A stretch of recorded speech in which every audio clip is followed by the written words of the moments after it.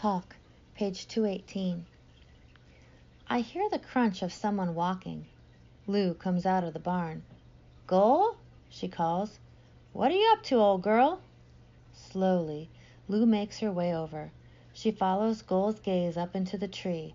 My, my, she says, this may be the first time in history a cow has treed two boys. We climb down slowly. When I get to the bottom, Gol nudges me again. She wants her ear scratched to continue.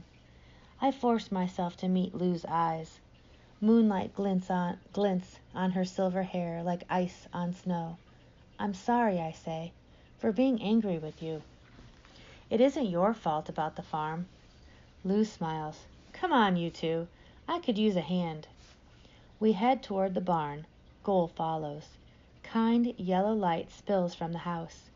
Lou and Ganwar and I stand there in a silent barn, stroking Gol and waiting. After a while, I help Lou toss some fresh hay into Gol's stall. How'd you end up in my tree this evening? Lou finally asks.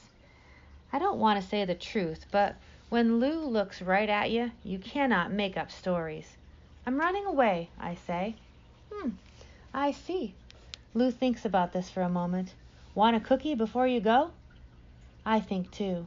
A cookie would not be such a bad thing. Chocolate, I ask? Yep.